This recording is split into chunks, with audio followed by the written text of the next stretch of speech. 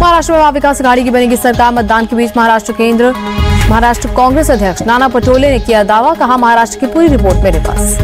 नाना पटोले ने कहा, वोट जिहाद करना, कहना मुस्लिम वोटर्स का अपमान, महाराष्ट्र चुनाव में कांग्रेस अच्छा प्रदर्शन करेगी। अखिलेश यादव बोले, हार के डर से अधिकारियों पर दबाव, लोगों को वोटिंग से रोक रही है पुलिस, हमारी सरकार आई तो बेईमान अधिकारी नहीं बचेंगे। अखिलेश यादव बोले, चुनाव के नतीजे हमारे पक्ष में आ रहे बीजेपी का सिंहासन हिल रहा, इसीलिए बेमानी पर उतरी है बीजेपी।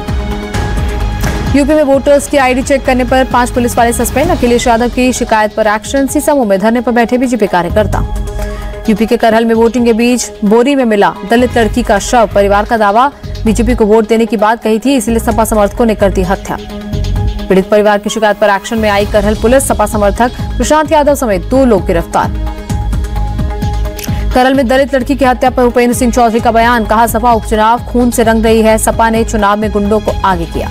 करल में दलित लड़की की हत्या पर बोले यूपी के deputy CM Brajesh Pathak, mafia गिरी और गुंडागर्दी से बाज नहीं आ रही सपा, उनके गुंडों ने दलित बेटी के साथ अत्याचार किया।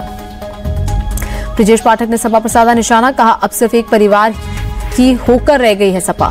लोकतंत्र के महापर्व पर सपा ने संविधान की धज्जियाँ उड़ाई मुजफ्फरनगर के मीरापुर में वोटिंग के दौरान पथराव ककरौली में दो पक्षों की झड़प में चले पत्थर। पथराव के बाद पुलिस ने बल प्रयोग कर भीड़ को खदेड़ा, एसएसपी ने मौके पर पहुंचकर हालात को काबू में किया। यूपी उपचुनाव को में वोटिंग के बीच अयोध्या पहुँचे सीएम योगी आदित्यनाथ। हनुमानगढ़ी मंदिर में की पूजा अर्चना।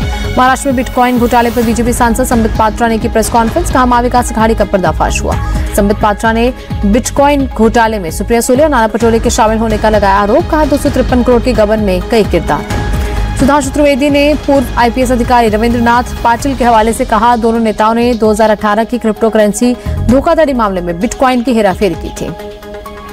सुधांशु त्रिवेदी ने आरोपों का आधार बताने के लिए कई वॉइस नोट मीडिया में जारी किए सुप्रिया सुले की आवाज़ होने का दावा किया। सुधांशु त्रिवेदी ने कांग्रेस को भी घेरा। कांग्रेस से पूछे पाँच सवाल, कहा रविन्द्र पाटिल जाँच का समर्थन करने के लिए तैयार।